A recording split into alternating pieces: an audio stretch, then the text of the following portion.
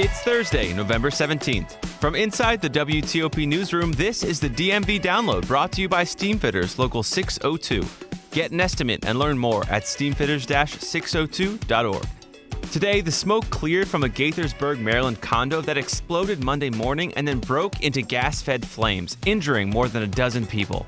There's just this gaping hole where people's homes used to be. WTOP's John Domen has been at the scene for two days straight, covering the aftermath as crews search through the debris, looking for potential survivors or those who were killed in the blast. So far, it's unclear if anyone died in the explosion.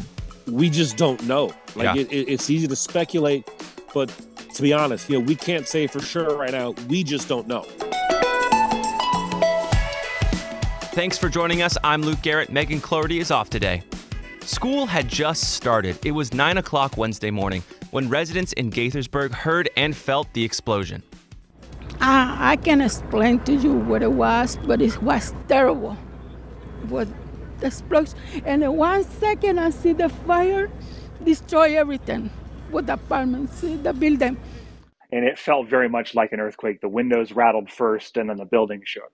It was probably the biggest cloud of smoke I've ever seen, like in person. I've only seen stuff like that on TV. it shook the whole building. My dog, who was 60 pounds, decides, ah, I'm scared. I'm going to jump on top of you. Yeah, it was it was bad. It was really bad. It felt like a bomb exploded. A backyard security cam from a nearby apartment captured the sound of the blast. WTOP's John Domen went to the scene in the minutes after the explosion Wednesday morning, and John joins us now with some more details on really what happened here and where the status of this investigation is. John, bring us back to those first moments when you got to the scene Wednesday morning. What did you see? Well, by then, I mean, everything was just like a, a smoldering crater where what it turned out to be nine different condo units had been. And now looking at it, obviously, you know, the smoke is gone, the fire is out, but you have three stories of condo units pretty much smashed into and just collapsed, all flattened into one story. This is all mostly a concrete structure. Mm. It's very heavy material and it's, there's just this gaping hole where people's homes used to be. And so many people talked to you about the explosion and what they experienced with it. You know, were they in shock? What did they tell you? the size of the explosion was was just massive. It uh, obviously caused panic right away. I spoke this morning with one woman who can't get back into her unit just yet. She said not only did she hear the explosion, she felt the vibration just kind of run right through her body. Mm. Uh, and, and she's kind of a couple of buildings over, if I remember right. She felt it run right through her body when it happened she looked out obviously she saw the fire just the the amazing destruction i mean it, it was as loud as you could possibly imagine from from what everybody's told me Mm. And as you were talking to people in, you know, the hours after the explosion, a story kind of came about where someone really ran in before firefighters even got there, and this man helped people get out. What was that story? yeah there was one guy um, based on the translation i got because he, he speaks spanish much better than he does english uh, yeah he knew there were people inside some of the units there and he rushed in and grabbed them Cuando miramos que, que estaba agarrando fuego, demasiado fuego, lo primero que buscamos fue a ver si habían personas adentro. It, it sounded like there was a friend of his sort of spraying him down with a fire extinguisher as he moved through because it, it was such an intense situation Wow. but he helped get as, as many people as he could out of there and that included a baby and I, I heard one woman describing how He going there, and then I screamed. I said, "Don't, don't!" But he said, "No, I have to go." And then he bring the people in there. Yeah. So, and then I started crying so bad because you know I know the people in there. She talked about seeing a friend run inside pull a mother and a baby out um, having to give the baby cpr we know that one of the children who who was hospitalized yesterday was less than a year old we now know that the only person who's still in the hospital today is is an adult man Mm. out of everybody that was involved in this explosion yesterday Mm. that's pretty remarkable at this point Right. but yeah, there there was definitely some moments of heroism happening because the situation was was so volatile and, and so extreme and intense. but people stepped up to help when other people needed it. Mm. And so we are more than 24 hours out from this initial explosion, but there's still a lot we don't know. But let's cover what we do know. So, first off, you know, how many people were hurt and what do we know about their conditions? So, they had to revise that number up to 14 today but that means that four people declined any medical attention um, beyond what they may have gotten at the scene or anything like that. We know that there were uh, eight people taken to the hospital. One of them is still there. Mm. Everybody else has uh, sort of improved themselves since then. And, and, and been able to get out. And, you know, that doesn't mean everybody's okay. And, and especially, I mean, not just physically, but also there is psychological trauma that will need to be addressed here going forward. But just of, of those that were physically hurt yesterday, yeah, we're down to one person still in the hospital. And a big question mark that is really looming here is, you know, was anyone inside these condos when the blast happened? And, you know, are, are they, you know, dead inside? That's a big question that's still left unanswered. What do we know about that? Yeah, that that is sort of we know we know there's one unit where at least one person is still unaccounted for. Uh, they, they they took great pains to say that doesn't mean that they're missing. Mm. They're just unaccounted for, and that's the owner of this particular unit, but that doesn't mean that they were inside. That doesn't mean also that uh, they weren't inside and that they weren't with other people. It also doesn't mean that they don't lease that out to somebody else who rents it from them. Right. Somebody else could be in there. Somebody else in their family could be there. Nobody could have been in there. It could mm. be vacant for all we know.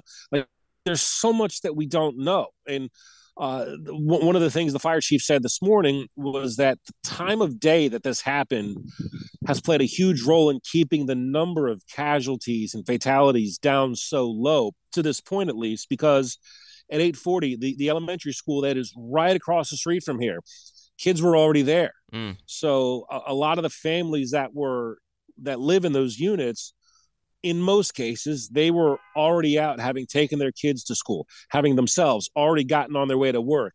You know, if this happened at a different time, the the story could be even all the much more tragic than what it is right now. Mm. Um, that's just a lucky thing right now. But yeah, there's one unit accounted for. They've brought canines to the situation, canines that can detect human remains, canines that can detect if somebody is alive or not. Wow. And I mean, there's only so close they can get because a lot of the structure is still so unsafe to be near, but at least where the dogs, the limited scope that the dogs have been able to get near, they've not detected anything. Mm. Hopefully that means something, but again, you know, that's we just don't know. Like yeah. it, it's easy to speculate, but to be honest, you know, we can't say for sure right now. We just don't know. So, what is the work that lies ahead of investigators and fire crews at this point? And you know, is there any sort of light timeline where we would really know answers to these questions? So, so we have basically a building and a half of units, nine units total, that are completely demolished right now. That you know went from being a three-story garden-style condo building to just a massive rubble that's mm. pretty much condensed and pancake down into one story's worth of debris and stuff a, a lot of the structure again like i said is concrete so not only is it you know all flattened down it's a heavy flat too mm.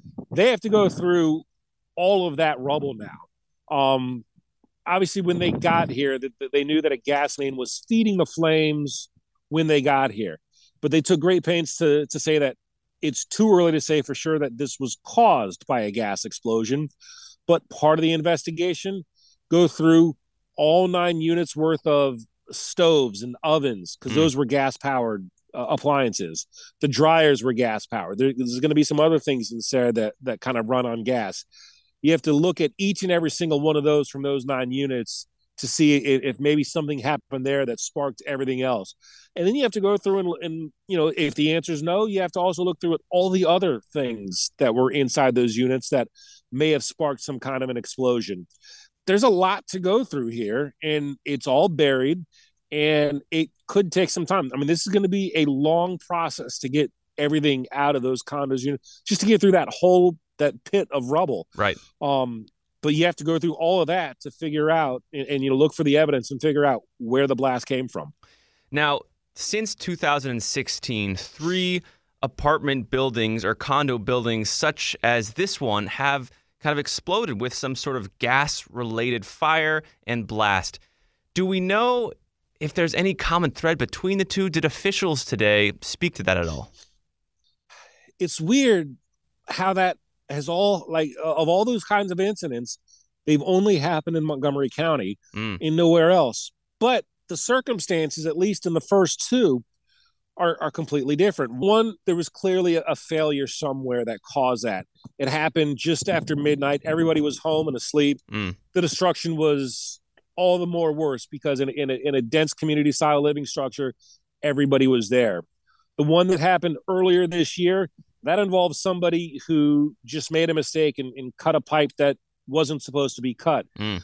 That's not something, you know, that the government can really do or anything with that. It's that was human error, Right. um, in the most unfortunate sense. And then you get to this situation, and again, it's it's too early to say. We don't know what caused this situation to go the way it did.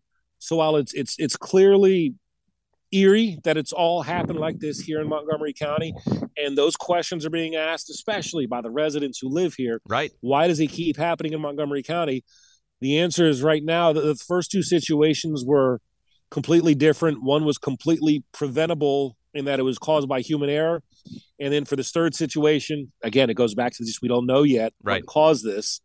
And then, you know, once we do know, then, you know, depending on what the circumstances are, the county can do something, maybe the state can do something if that's something that could be preventable at that level. Mm. But it's again, it's a mystery at this point. Well, John, there's a lot of details to this case. But there's also a big human element. Thank you for bringing both to us here. You got it, Luke. And after the break, goals for bowls. We'll tell you what it means and what you'll get out of it after the break. Backed by the experience of its hardworking members, Steamfitters Local 602 is ready to take on your next commercial heating, cooling, HVAC, or refrigeration project.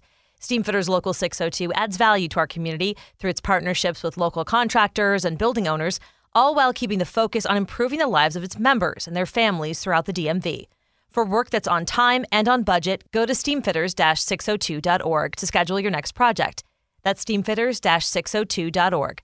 Steamfitters Local 602, changing lives. Explain your DNA on, on 10 cases, man. You're inside the police interrogation room with the alleged Potomac River rapist. I'm not guilty on any of this stuff. So calm, so reasonable. Could this be the man who terrorized women for nine years before murdering a brilliant scientist two decades ago? Experience one of the most fascinating true crime podcasts available. Join crime reporter Paul Wagner for Unknown Subject, Season 3 of WTOP's American Nightmare series. Search American Nightmare Podcast on all podcast platforms.